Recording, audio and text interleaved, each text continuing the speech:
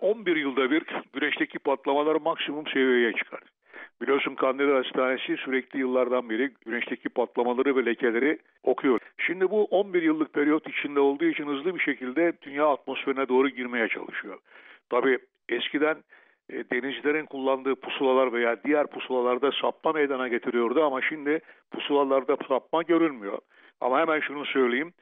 E, uydu görüntüleri, uydu yayınlarını, kısa dalga yayınlarını ve özellikle tabii uyduyla ilgili olarak gerek televizyon gerekse telefonlarla ilgili yayınlarda bu geceden itibaren noise dediğimiz parazitler oluşmaya başlayacak. Hatta yer yer e, uydu telefonlarında kesilmeler meydana gelecektir.